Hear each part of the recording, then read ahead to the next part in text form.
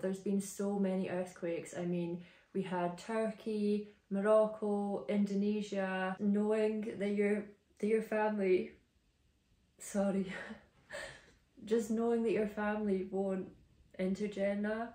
Assalamu alaikum and welcome back to my channel. I hope you're all doing really well inshallah. Today I'm back with another reaction video. I previously did a video with my mum on the nine shocking facts from the Quran by the Merciful Servant and I really enjoyed it so I thought I'd have a, another little look on their channel and see what I could find and I came across the final signs before the world ends.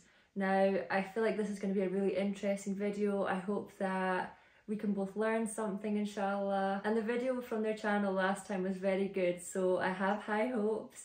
Let's get into it inshallah. After Ya'juj and Ma'juj, there will be swallowings of earths, swallowings, large lands that will actually disappear under the earth. They'll, they'll, be, they'll be gone, either into the water or they'll be destroyed head over heels. There'll only be dirt left. Earthquakes in the east and the west and in Jazirat al-Arab. These are massive earthquakes. The whole world will feel them. One in the east and one in the west and one in the Arabian Peninsula. And the Prophet ﷺ tells us in the hadiths سيكون بعدي خسف بالمشرق after me after the Prophet ﷺ's death there will be a swallowing of earth in somewhere in the eastern region eastern to Medina وخسف بالمغرب and in the west of Medina somewhere there وخسف في جزيرة العرب and there will be also a swallowing of the earth in the lands of the Arab the Arab Peninsula so Allahu A'lam what will happen In that time. And there will be righteous people also go in those landslides. That's already a really interesting fact because as we know in the last year or so, there's been so many earthquakes. I mean, we had Turkey, Morocco, Indonesia, I'm sure I'm missing even more countries. It's absolutely devastating to see. I'd seen on social media that it's a sign of the end, so I did look into that for myself and I did see what the Prophet Muhammad, peace be upon him, had to say about that. That earthquakes would be a sign that the end is near. If you like, there'll be righteous people, but that's because, listen to what the Prophet ﷺ said. He said, إِذا, إذا أكثر أهلها الخبث one companion said, Ya Rasulullah, the earth will swallow the people, even if among them there are righteous people. He said, Yes, إذا أكثر أهلها الخبث. If its people start to do too much immorality and indecency and all of those things. And we, we, we have that today. You can see it a lot in the eastern regions, you can see it a lot in the west. You know, homosexuality and prostitution, all those other khabath. People no longer believe in God and so on and so forth. That is so true. Nowadays, I feel like you're seen as a bit of a freak if you're dressed modestly and you're not going out inappropriately dressed. And it is really really sad to see. We see gay marriages are accepted now into churches. Take the uk for example. If you look 100 years ago everybody would be dressed modestly. Women would wear a scarf on their head. And nowadays we're just so so far away from that. It seems like whoever can wear the least amount of clothes to go out on a night out and it's winter time and it's freezing and that's just not nice. And that in itself is a form of oppression because you maybe feel pressurized into doing it because all your friends are or you want to seem cool. Then there will be smoke. Smoke will come and it will fill the whole sky. Dukhan is a type of smoke that will happen. We don't know much about it other than there will be a smoke. This is another major sign. Allah said in the Quran, فارتقب يوم تأتي السماء بدخان مبين يغشى الناس هذا عذاب أليم Which means wait until the day comes when the sky will be filled of clear smoke. Everybody in the world will see it. Mubin, everywhere. يغشى, الناس or يغشى الناس هذا عذاب أليم. يغشى الناس meaning the smoke will cover all the people. يغشاهم أجمعين It will cover all the people of the earth هذا عذاب أليم This will be a day of torment and this is also one of the signs of the closeness of the last hour. That was something that I wasn't aware of at all. Let me know in the comments if you knew that a lot of smoke would be one of the major signs that the world is coming to an end because I had never heard of that one, so that one's really interesting. Also, among the major signs before the end of the world would be, as we said last week, the rising of the sun from where it sets. The sun rising from the west. The sun rising from the west. The world, the universe is moving in a very peculiar way now. And some scientists, as I said last time, say that it will reach a plateau phase, it will just stop. And when this happens, everything's reversed. So the earth is rotating this way, and then it'll be rotating the other way. And the sun will look like it's setting from the other side. A reverse situation of the universe's crunch. That day, no more repentance will be accepted by anybody, as we said. And finally, there will be something called a dabba, the beast. It will come out of the earth. Allah knows what it looks like. Tukallimun nas. It will speak to the people that you have disobeyed your Lord. The dabba is a beast And it is mentioned in the Bible as well, the beast. And the sign of the beast is mentioned in the Bible. And the Quran mentions, uh, فَإِذَا وَقَعَ الْقَوْلُ عَلَيْهِمْ أَخْرَجْنَا لَهُمْ دَابَّةً مِّنَ الْأَرْضِ That when the fate has been sealed, we will cause a beast to come out from the earth. This is the beast. The beast that walks the earth. A dabba in Arabic means anything that walks the earth from an animal form. So it walks the earth and it's called a beast because it doesn't have a particular human form, nor is it known to be of any animal form that we know of. And Allah says, تُكَلِّمُ nas." In the Quran, Allah subhanahu tells us that تُكَلِّمُ nas. It will speak to the people with speech that you can understand, this beast.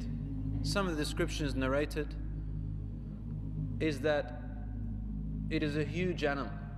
Some say it will come out of the earth the authentic hadith is that it will come out of the earth in three days. But what they say is the first part of it, the first third of it, will come out. It will be huge, like a mountain. The second part and the third part. So it's larger than a mountain, some say. Some say that it has the features of different beasts. So it's not one particular form. And it will be carrying with it the stick of Sulaiman and it will wipe the people in two different colors. One is a dark color and one is a light color. In one hadith, which is authentic, it says that a person will be able to, this towards the end of the world, towards the end, a person will be able to tell who the disbeliever is from the believer just by looking at them.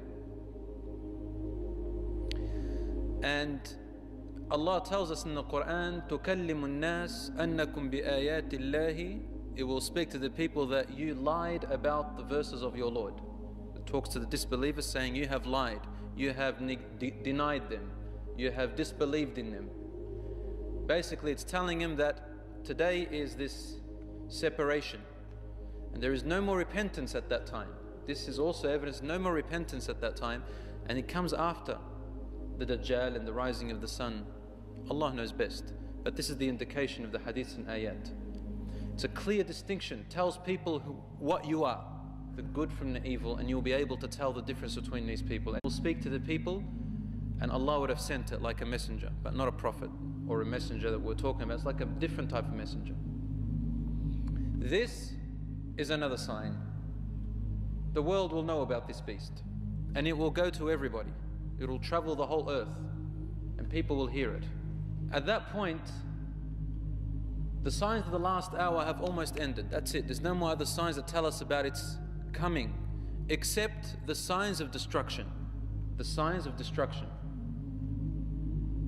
The rumbling and the earthquakes. This, these are the signs that once they happen, that's it. The world is, is going to end and be destroyed. It's going to get worse and worse until it's finally completely destroyed and vanished. Step by step, knowledge will diminish and fade away on earth. When we talk about knowledge, we're talking about beneficial knowledge which Allah has sent down.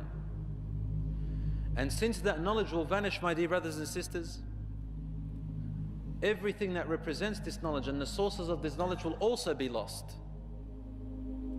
It'll be lifted by Allah subhanahu wa ta'ala. So finally the Quran itself will be lifted. This is also in the hadith towards the end of the world after Isa alayhi salam dies. After. And after Al Mahdi comes, there will come a time where people will know nothing of this deen. And there is also an authentic hadith of the Prophet ﷺ. Ibn Abbas tells this hadith on the Prophet ﷺ's tongue after the Prophet ﷺ's death. And he said, When their people will have no knowledge except one word, they will remember it. عرفوها عن أب عن جد أو علموها عن أب عن جد They learnt it from father, from grandfather. What is that word? لا إله إلا الله. There is no God worthy of worship except Allah. And the companion to whom Ibn Abbas is speaking to, the Tabi'i, he said, وَمَاذا تَنْفَعُهُمْ What is this going to benefit them? What is this going to benefit them? Is that all they know? He said, تنجيهم من النار تنجيهم من النار تنجيهم من النار It will save them from the fire, it will save them from the fire. Ibn Abbas says this. There's no more other knowledge except that. And these final people will live, the majority of these people will be like that. The Prophet ﷺ said also, he said, Medina will remain inhabited during the days of the Dajjal. And during the time of Isa alayhi salam, son of Mary, Ibn Maryam, until he dies and is buried there. Yani Isa alayhi salam will be buried in Medina. Then it will be destroyed. Medina will be destroyed. Kharab al Medina. You'll find this hadith in Muslim and also in Ahmad, Sunan Ahmad, authentic hadiths. And the destruction of Medina, as our ulama say, it is not because the people will actually break it. It's not physical destruction. But destruction, kharab al-Madinah means the knowledge and the religion in there, there will be no longer people representing it in there. They'll either die or would have left. Umar ibn al-Khattab radiallahu anhu said, I heard the Prophet say, a rider will go around Medina and say, there used to be many Muslims here. It'll become history. This is in Sunan Ahmad. At the end of time, towards that era, the Prophet ﷺ tells us about a very strange man who will rule the earth, an Abyssinian king will rule the earth.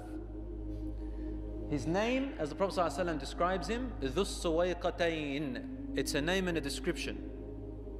Dhus means the man of the peculiar looking shins. They're thin and they're short. The He will come from Abyssinia, Al Habasha, Ethiopia. And he will destroy the Kaaba, not the Medina, the Kaaba itself, the holiest symbol of the Muslims today. He will destroy the Kaaba in order to steal its treasure and cloth covering. What I understand from that is the covering they have on it today. The Kaaba is the ancient building which was built by Ibrahim alayhi salam and whose foundations were laid by Adam. This is the hadith of the Prophet.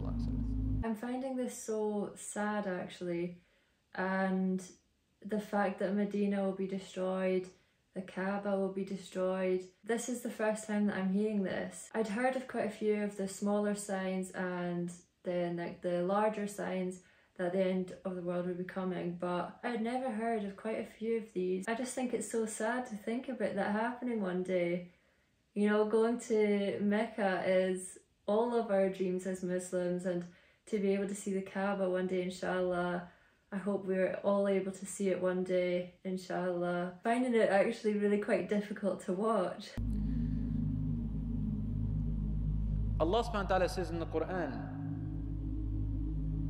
there is reported from Ka'b al-Ahbar that those Suwayqatain will first emerge at the end of Isa alayhi salam's time. Allah will send Isa alayhi salam at the head of a vanguard of between 7 and 800. While they are marching towards the Suwayqatain, and there's a special army of about 500, 800 special, which Isa alayhi salam will take with him to fight the Suwayqatain. Allah will send a breeze from the direction of Yemen which will take the soul of every believer. Only the worst of people will be left, and they will begin to live like animals or copulate like animals. Ka'b who said, At that time the hour will be close at hand. Now that we know this, this Suwayqatain will come and grab the Kaaba, break it brick by brick, and no one will be able to stop him. No one will stop him because there'll be no one to stop him. Either he'll be so powerful, but Allahu Alam about that, but what the hadiths indicate is that there will be no believers on that time. When that happens, my dear brothers and sisters, and the Kaaba is destroyed, therefore, no believers, muwahid. You heard the hadith earlier that Allah subhanahu will send a breeze before the Muslims reach the Suwayqatain, and every believer, in another hadith, Prophet said, every believer, muwahid, who is a monotheist, believes in only one God and doesn't make any shirk, will die. Will die peacefully from this breeze. And only the disbelievers and the tyrants and the criminals will stay on earth. The Kaaba is destroyed. The symbols of Islam are destroyed. The Quran has been lifted. There is no more Islamic knowledge. What's left? Ad-dunya, the world. And the Prophet ﷺ said, Ad-dunya mal'una. The dunya is cursed. Mal'unun ma fiha. Everything in it is cursed, dhikrullahi wa ma wala. Except for the remembrance of Allah and whoever are the allies of the remembrance of Allah. So the beasts and creatures are allies of the remembrance of Allah. Because Allah says in the Quran, there isn't anything on earth other than the humans and jinns, except that it glorifies in the name of Allah, but you cannot understand their praise. And other verses in the Quran, Allah talks about mountains and trees and all that that glorify Allah subhanahu wa ta'ala. The point is, Allahu A'lam, what will happen to the animals? Will they die before the end of time? Allah knows best. But the point is, everything on earth is cursed that does not follow the allegiance of the remembrance of Allah subhanahu wa ta'ala. And the final sign before the day of, of, of destruction is the fire. And now, Rasul tells us, find this hadith in Sahih Muslim, you find it in Bukhari, you find it in almost all the books of hadith, six books, major books of hadith.